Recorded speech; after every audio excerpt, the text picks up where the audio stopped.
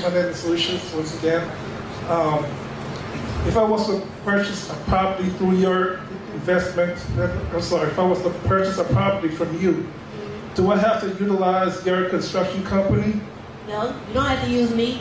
But when you get uh, fucked and then you call me back to go fix that shit, I'm gonna tax you.